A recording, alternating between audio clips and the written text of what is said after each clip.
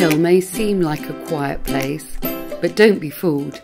Beneath that calm exterior, there's a wealth of diverse community activity going on for all ages and abilities.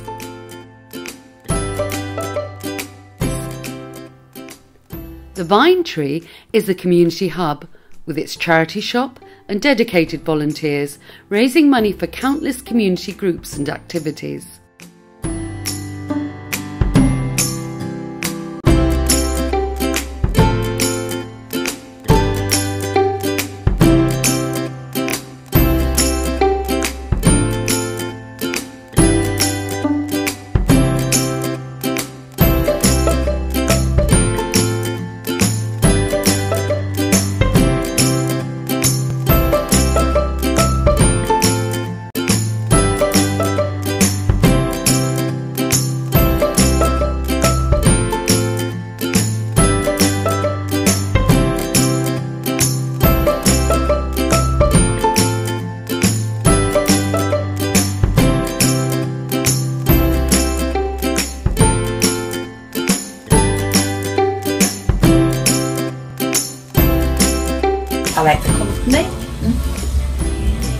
Cake.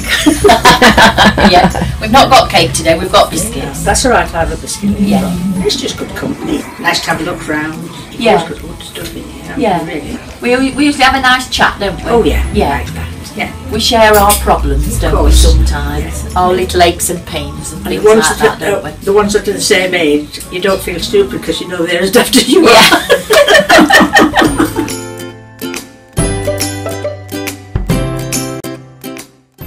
Shine brings older people together for afternoons of friendship and creativity.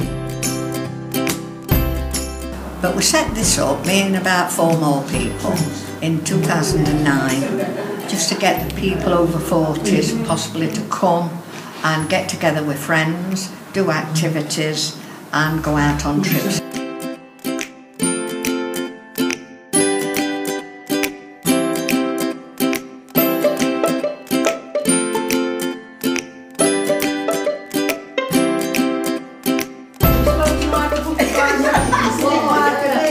Then there's the Starbucks Community Gym, providing a friendly atmosphere for all to take part in their training sessions. My favourite thing is probably that it's a non-profitable gym, so it's just here to help the community, um, help get children off the streets and give them something to focus on. And Ashfield Activities Association, a group of dedicated local people, mainly mums, organising amazing events including the Ashfield Gala and Christmas lights switch on. I think it's very, very important for local businesses to, to support local events in whichever community you live in.